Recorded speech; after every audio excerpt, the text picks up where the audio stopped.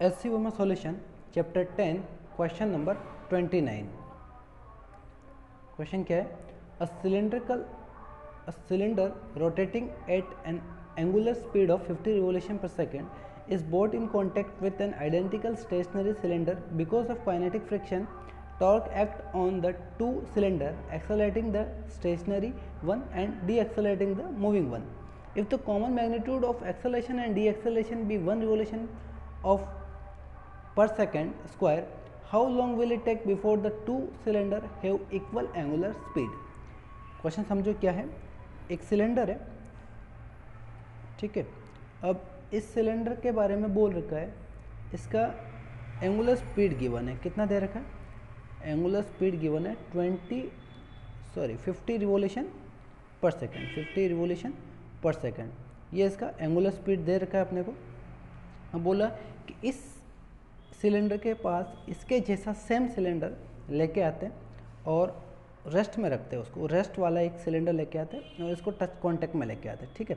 ये सिलेंडर है, वो रेस्ट में है और दोनों का मास रेडियस सेम है। इसका एंगुलर स्पीड गिवन है, ये रेस्ट में है। अब देखो, जैसे इसके कांटेक्ट में लेके आएँगे तो फ्रिक्शन लगेगा।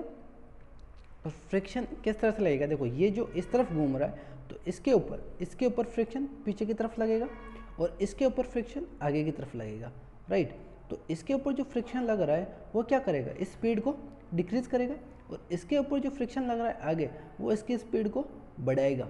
ये चीज़ क्लियर है? इसके ऊपर फ्रिक्शन लगने से इसकी स्पीड कम होगी, इसकी स्पीड बढ़ेगी राइट ओके देखो, इसकी इनिशियल स्पीड कितनी है? फ़र्स्ट वाले की इनिशियल स्पीड फ़र्स्ट वाले की बात करते हैं तो ओमेगा नोट क्या है? फ़र्स्ट की इनिशियल स्पीड 50 है, ठीक है? सेकंड वाले की बात करते हैं तो इनिशियल स्पीड क्या है?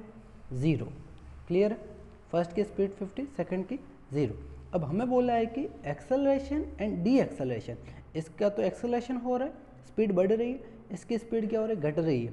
तो एक्सेलरेशन और डी एक्सेलरेशन का मैग्नीट्यूड सेम है. तो इसमें क्या हो रहा है? डी एक्सेलरेशन हो रहा है. तो ये मैग्नीट्यूड क्या दे रखा है? वन और इस, इसमें क्या हो रहा है? एक्सेलेशन हो रहा है तो इसका मैग्नीट्यूड क्या है? वन तो देखो डिफरेंस क्या है? ये डी एक्सेलेशन तो माइनस साइन लगा देते हैं, ये एक्सेलेशन है तो प्लस साइन लगा देते हैं राइट अब बोला है, कितने टाइम के बाद, कितने टाइम के बाद दोनों की एंगुलर स्पीड का मैग्नीट्यूड सेम हो जाए? दोनों की एंगुलर स्पीड का मैग्नीट्यूड क्या हो जाए? सेम हो जाए. तो देखो स्पीड अपन कैसे निकालेंगे?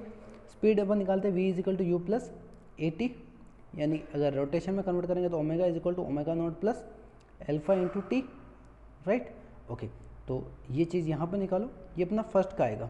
इसी तरह अपन सेकंड का निकालेंगे तो omega naught plus alpha into T right value put कर देते ये आएगा 50 माइनस वन इंटू टी ये आएगा zero plus one into T अब हमें क्या बोला है कि दोनों का एंगुलर स्पीड सेम हो जाए यानी first is equal to second हो जाए तो वैल्यू पुट कर दो fifty minus T is equal to T, ये इक्वेशन और ये इक्वेशन इक्वेट कर दी मैंने।